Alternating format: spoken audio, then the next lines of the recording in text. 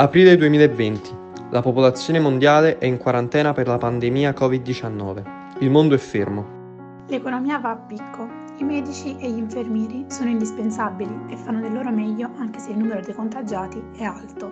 Tutti abbiamo paura di perdere un caro, ci sentiamo impotenti solo al pensiero di non poter stare vicino a una persona a cui vogliamo bene. Ci si aggrappa a tutto, ad ogni singola speranza. Anche il Papa il 27 marzo, oltre a dare l'indulgenza plenaria, ha pregato insieme a tutto il mondo affinché questo finisca.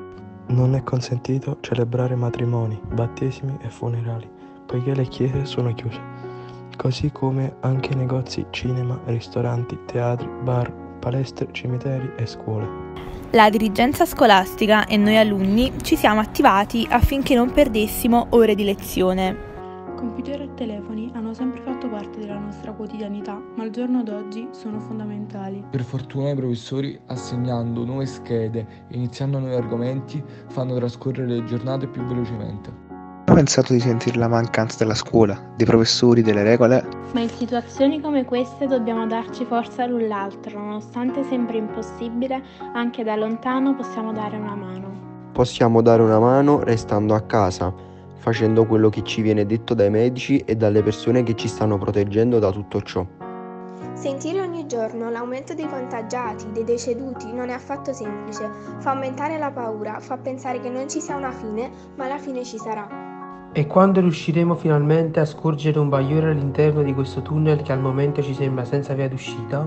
Saremo diventati persone più attente e consapevoli, meno superficiali ed egoiste.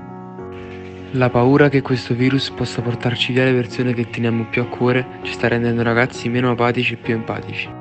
Sta facendo ripensare a tutti gli abbracci e le carezze ricevuti mesi fa, a cui non avevamo dato valore. Ora tutti quei momenti sono impressi nella nostra mente e li sentiamo lontani anni luce.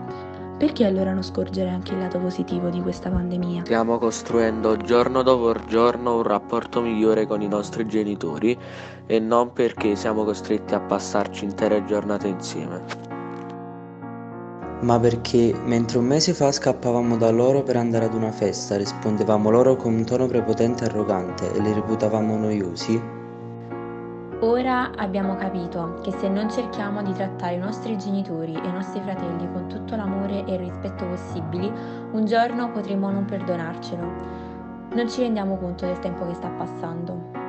Cerchiamo di approfittare di questo periodo di quarantena per fare tutto il possibile per diventare figli migliori, amici migliori, fratelli migliori e soprattutto persone migliori. Un giorno usciremo finalmente, abbracceremo il nostro vicino come se fosse nostro fratello e potremo dire di avercela fatta tutti insieme. La seconda M vi augura buona Pasqua con la speranza che la prossima possa vederci tutti uniti anche fisicamente. Buona Pasqua. Buona Pasqua.